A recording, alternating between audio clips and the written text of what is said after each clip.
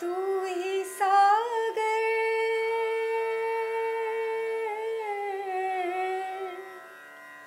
तू ही सागर है, तू ही किनारा। ढूंढता है तो किसका सहारा? ढूंढता है तो किसका સહારા જિંદગી એક યાત્રા છે. સામાન્ય રીતે યાત્રામાં સાથીદાર હોય તો વધુ મજા આવે એવી આપણને ટેવ પડી ગઈ છે. અને તેથી જ એ ટેવને સાર્થક બનાવવા માટે આપણે એક સહયાત્રીની શોધમાં હોઈએ છીએ. ઘણીવાર એ સહયાત્રી શરૂ થાય ત્યારથી સાથે નથી જોડાતા. તમારી યાત્રા દરમિયાન એ અચાનક સાથે થઈ જાય છે.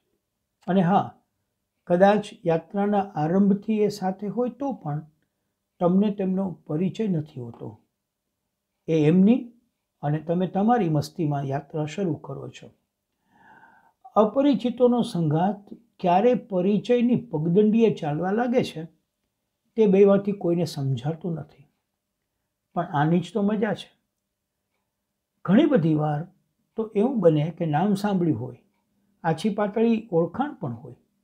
બંનેના ચહેરા અલગ અલગ બારીમાંથી જુદા જુદા આકાશ નિહાળતા હોય. પરંતુ કોઈ એક પળે જરાક તરાક પરિચય થાય અને પછી આવી પળો કલાકો, દિવસો અને વર્ષોમાં પલટાતી જાય. થોડાક સમયમાં તો એમ બને કે જાણે આપણે સાથે જ આવેલા, સાથે જ જીવવા માટે. આરંભમાં દ્વિધા સાથે આ વાત મનમાં ડોક્યું કરે, પણ પછી તો વહેમ પ્રેમમાં પલટાવા લાગે. ભાવ જાગે કે આપણે તો મેડ ફોર ઈચ અધર છીએ. આપણું આકાશ એક જ, આપણી હૂંફ પણ એક જ, આપણા શ્વાસ પણ જાણે એક જ. આશા બંધાવા લાગે, અપેક્ષા થવા લાગે મારું ને તારું તારું ને મારું ની લાગણી પ્રબળ થતી જાય. એક જ ભાવના સર્વત્ર થવા લાગે, જિંદગી અહીં છે, સંતોષ અહીં છે. અહીં જ યાદ રાખવું રહે કે જિંદગી એક યાત્રા છે. તેને સાર્થક બનાવવા માટે તમે એક સહયાત્રીની શોધમાં હતા. સહયાત્રી અચાનક સાથે થઈ ગયા છે. પણ એ ભળવું ન જોઈએ કે સહયાત્રીને પણ પોતાની એક યાત્રા છે. જેમ તમે યાત્રા શરૂ કરતા પહેલાં તમારો યાત્રા ચાર્ટ બનાવેલો, તેમ એમણે પણ એક નીચી યાત્રા ચાર્ટ બનાવેલો છે. એણે ક્યાં રોકાવું, કેટલું રોકાવું, ક્યાં કેટલું માણવું એ વિચારી રાખ્યું છે. યાદ રાખવું પડશે કે તમે તમારા સહયાત્રીના શિડ્યુલને ડિસ્ટર્બ કરશો, તો તમારો સંઘાત જામશે નહીં. એને કશું પોતીકું લાગે છે તો તમને કંઈક બીજું વહાલું લાગે છે. બંને મુક્ત હતા નહીં. બંને હજુ પણ મુક્ત છો જ. તમે હા કહેશો તો જગત હકારમાં સૂર પુરાવશે. તમારો નકાર જલ્દીથી પડઘાશે નહીં. એક સત્ય છે કે સકારાત્મકતાને તેના રંગો છે અને નકારાત્મકતાને રસમસના મોજા છે. તરંગો હળવા ફૂલ હોય અને મોજાઓ ખાના ખરાબી સર્જવા ટેવાયેલા હોય. યાત્રાનો વર્ણ લખ્યો નિયમ એ છે કે તરંગો ઝાઝા અને મોજા ઓછા હોવા જોઈએ. આ નિયમનું પાલન કરવાથી જ યાત્રા મોજીલી બને છે.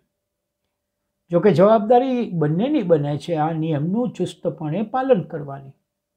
અને સદાકળ ન ભૂલવા જેવું સત્ય એ છે કે તમે બંને જેમ અચાનક સહયાત્રી બની ગયા છો, તેમ જ અચાનક તમારા યાત્રા માર્ગો અલગ પણ થઈ જવાના છે. તમે આવ્યા હતા એકલા, બસ એમ જ તમે જવાના પણ એકલા.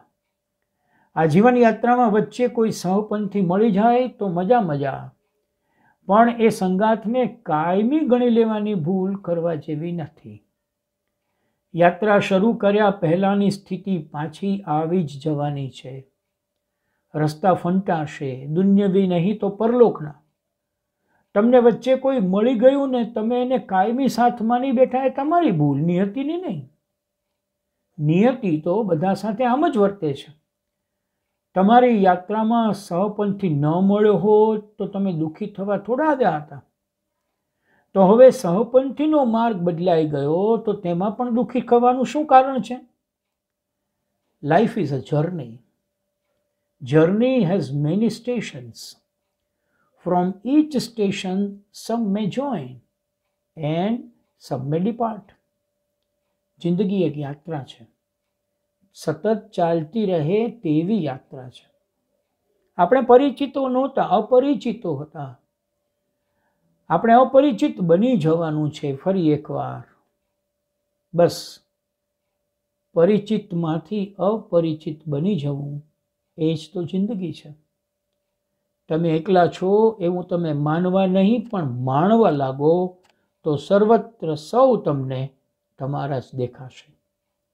ન કોઈ પારખું, ન કોઈ પોતાનું.